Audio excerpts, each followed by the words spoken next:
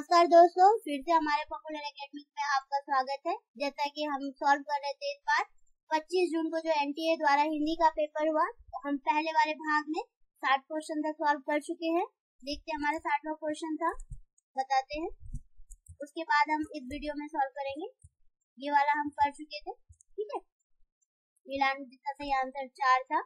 अब हम करेंगे इकसठ क्वेश्चन हमारे इस वीडियो को आप देखने के लिए आ जाइए दोस्तों और देखिए अच्छे से। और अगर आप अपने दोस्तों को भी शेयर करना चाह रहे तो शेयर करिए, जिससे उनको भी सही आंसर पता चले। और लाइक करें दोस्तों, और इसे सब्सक्राइब करना ना भूलें। हमारा अगला क्वेश्चन है, देखिए बचन सिंह सिहर सा गया और उसके हाथों की अभ्यस्त निठुराई को जैसे किसी मालव्य कोमलता ने धीरे से छू लिया। ये जो लाइन है, पंक्ति है, ये राजा निर्वंशिया जो कहानी है, उससे ली गई है दोस्तों। इसका सही आंसर है, तीन राजा निर्वंशिया अगला प्रश्न है। अगला प्रश्न है यह मेरे जीवन का केवल अर्ध सत्य है। मैंने केवल अपने बहिरंग जीवन का ही विवरण दिया है। जहाँ तक अंतरंग जीवन का प्रश्न है, वह नितांत मेरा अपना है। आपको उसका संभागी बनाने की उदारता मुझे नहीं है। ये है हरिवंश राय बच्चन। अगला प्रश्न है, क्रम का प्रकाशन काल की दृष्टि से सुरेंद्र वर्मा के नाटकों का सही अनुक्रम क्या है?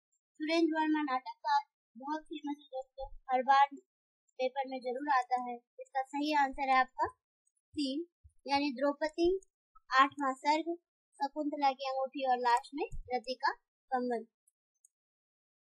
नाम्बर सिंह ने संस्कृति और सौंदर्य निबंध में हजारी प्रसाद द्विवेदी द्वारा रचित अशोक के सिंह की रचना का उद्देश्य निम्नलिखित में से किसे माना है? इसका सही आंसर है, आर्य संस्कृति की शुद्धता के अहंकार पर से। अगला क्वेश्चन है अगर प्रेम फुकार से है तो मैं उससे दूर ही रहूँगी। मैंने तो उसे गा ही समझ रखा था। मैं प्रेम को संदेह के ऊपर समझती हूँ। वह देह की वस्तु नहीं, आत्मा की वस्तु है।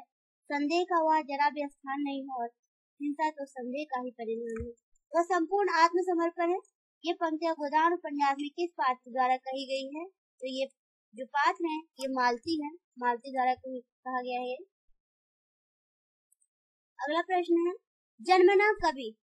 जन्मना कवि, प्रकृतिया, भूमक्कड़ और विचारता मूलता मार्क्सवादी है। कविता के लिए कोई भी विषय हो सकता है।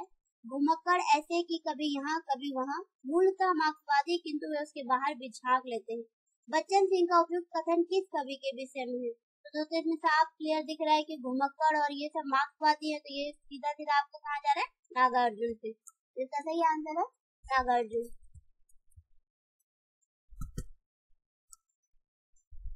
सही तो आंसर है इसका दोस्तों। नागार्जुन, जो कि ऑप्शन चार है। सही आंसर है नागार्जुन।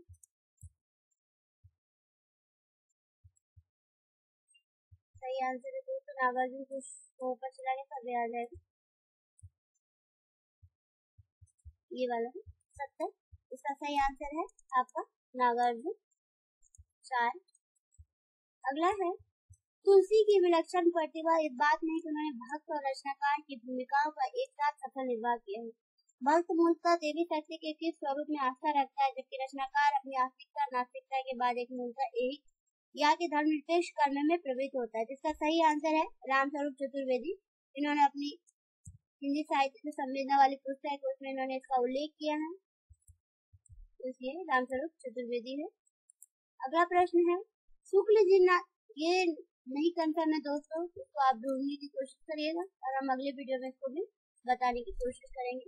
रस की प्रस्तुति के लिए तद्रुप अनुसंधान शब्द का प्रयोग किस आचार्य ने किया है, जिसका सही आंसर है भटलोड़क सही आंसर है दोस्तों। ये है प्रकाशन वर्ष के अनुसार निम्नलिखित संस्मरण कृत्यों का सही अनुक्रम क्या है, जिसका सही आंसर है चार स्मृति कन हम हसमत ली कली और वन तुलसी के गण। अगला प्रश्न है। मिलान करो।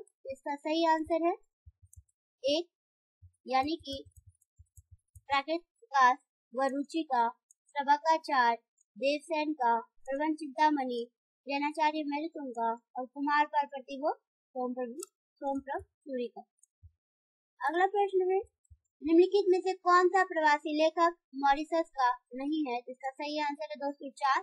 महात्म सिंह ये मॉरिसस के नहीं है। बाकी महेश, राम जियावन, अभिमन्यु आनंद और रामदेव धुरंधर तीनों मॉरिसस के हैं। इसका सही आंसर है दोस्तों, चार, महात्म सिंह नहीं है। अगला प्रश्न है, रचनाकाल की दृष्टि से निम्नलिखित रचनाओं का सही अनुक्रम क्या है? जिसका भी सही आंसर है दोस्तों, चार, यानी कि नाट्य शास्त्र काव्य अलंकार ध्वन्यालोक और साहित्य दर्पण। सही आंसर है दोस्तों, इसका चार।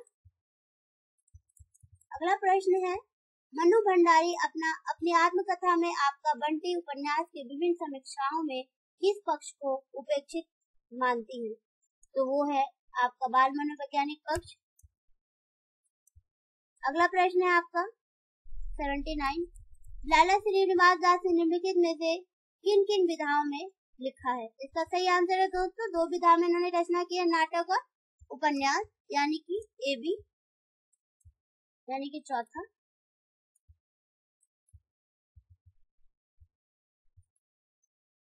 अगला प्रश्न है कि आचार्य रामचंद्र शुक्ल ने प्रिय प्रवास के निम्नलिखित में से किस विशेषता का उल्लेख नहीं किया है? दोस्तों लिखा है, नहीं किया है। तो इन्होंने इसका उल्लेख नहीं किया कि अधिकतर पदों में बड़े ढंग से हिंदी अपनी चाल में चली, चलती दिखाई पड़ती है। इसका उल्लेख इन्होंने नहीं किया है। बाकी तीनों चीज़ों का उल्लेख इन्होंने अपने उसमें किया है। प्रश्न है, विलक्षण बात यह है कि आधुनिक गद्य साहित्य की परंपरा का परिवर्तन नाटक से हुआ है। इसका सही आंसर है रामचंद्र जन्म काल के अनुसार निम्नलिखित रचना का सही अनुक्रम क्या है? इसका सही आंसर है दोस्तों, एक केशव दास बिहारी मतीराम और धनानंद। निम्नलिखित में से कौन सी रचना अग्रदास की नहीं है? तो ये आंसर दोस्तों है सही इसका।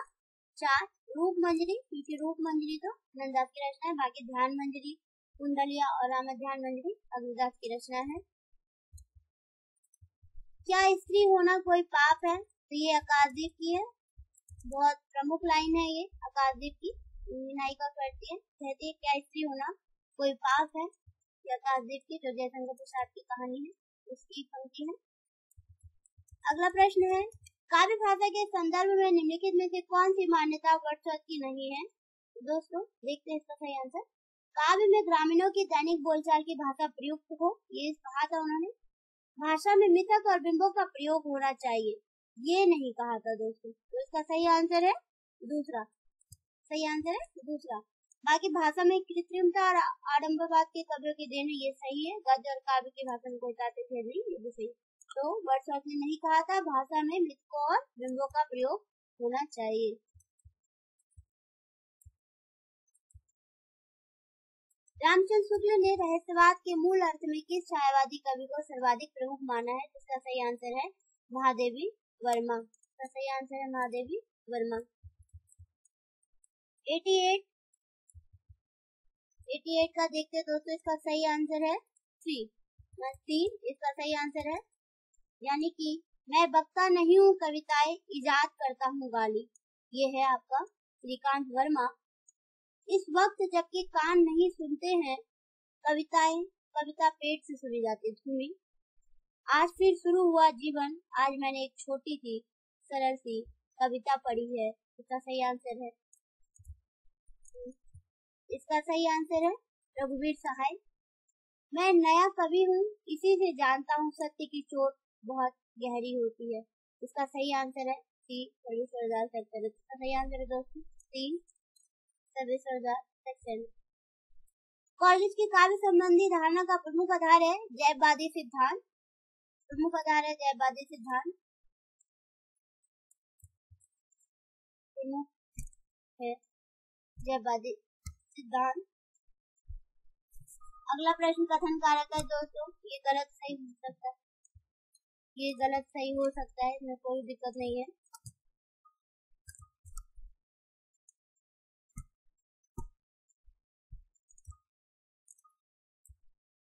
कुछ भी हो सकता है, इसका उतना वो नहीं करेंगे। और ये यूजीसी आंसर अब क्या कहते हैं, उसी के आधार पर हम इसको वो करेंगे।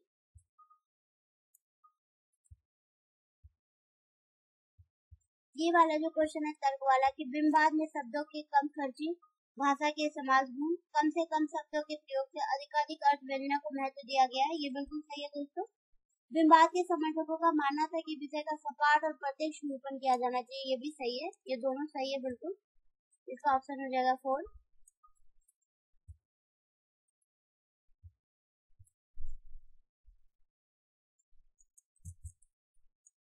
अगला है आपका क्वेश्चन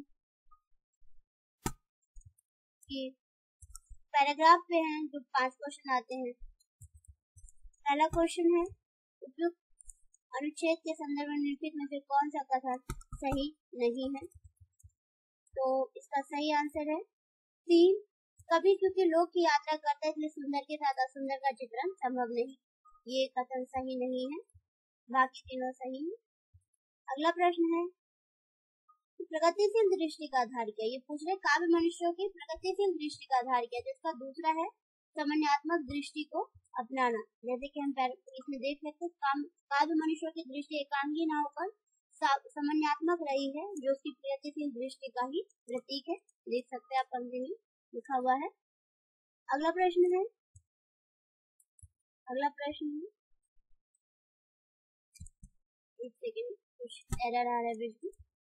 तो चलते हैं हमारे अगले प्रश्न पे। तो अगला प्रश्न है। उपयुक्त अनुच्छेद के संदर्भ में कौन सा कथन सही है? इसका सही आंसर है, चार, काव्य का सत्य अनुभूति परक होता है। संशय में दिया ही होगा, काव्य का सत्य अनुभूति परक होता है। भारतीय काव्य मनुष्यों ने काव्य की वस्तु के साथ उसके अर्थ की सीमा का अन्वेषण भी किया। काव्य की अर्थ व्याप्ति समूचे मानव लोक में होती है। काव्य का संबंध उस अर्थ है, जिसमें कल्पना और सौंदर्य का आधार होता है। राजशेखर ने कल्पना को स्वीकार करते हुए कहा कि काव्य के कर्ताओं को वस्तुओं का स्वरूप जैसा प्रतिभाषित होता है उसका वर्णन वे उसी रूप में करते हैं। काव्य और दर्शन तथा काव्य और विज्ञान में भी अंतर होता है। काव्य का सत्य विज्ञान के सत्य से भिन्न है क्योंकि काव्य का सत्य तथ्यात्मक नहीं अनुभूति परक होता है। इसका सही आंसर है दोस्तों हम्म, सही आंसर है इसका अनुभूति काव्य का सत्य अनुभूति परक होता है। अगला क्वेश्चन है निम्नलिखित अनुच्छेद के संदर्भ में काव्य मनुष्यों की दृष्टि से समन्वयात्मक होने का आधार क्या है? सही आंसर है फोर आदर्शवाद, प्राथमिकता से जुड़ा होना। आदर्शवाद, सामाजिकता से जुड़ा होना, इसका सही आंसर है। अगला प्रश्न है हमारा, उपयुक्त अनुच्छेद के संदर्भ में लिखित में से कौन सा कथन सही नहीं है तो इसका सही आंसर है फोर भारतीय काव्य मनीषा ने अर्थ की सीमा का भी अन्वेषण किया है। जो काव्य की अर्थ व्याप्ति समुचे मानव लोक में होती है, सही है। काव्य के अर्थ का आधार कल्पना और सौंदर्य, सही है। काव्य के कर्ता वस्तुओं का वर्णन उसी रूप में नहीं करता जैसा उन्हें प्रतिभाषित होता है। ये भी सही है कि ये सही नहीं है। भारतीय काव्य मनीषा ने अर्थ की सीमा का भी अन्वेषण किया है। तो दोस्तों, यहीं पे हमारा हिंदी प्रश्न पत्र खत्म होता है, और उम्मीद करती हूँ कि आपको पसंद आया होगा हमारा ये वीडियो। और पहला प्रश्न पत्र हम इसके बाद अगले वीडियो में करेंगे तो आप उसको ज़रूर लाइक करें सब्सक्राइब करें और अपने दोस्तों तक इसे शेयर करें। फिर मिलते हैं दोस्तों अगले वीडियो में, अगले टॉपिक के साथ। नमस्कार, धन्यवाद।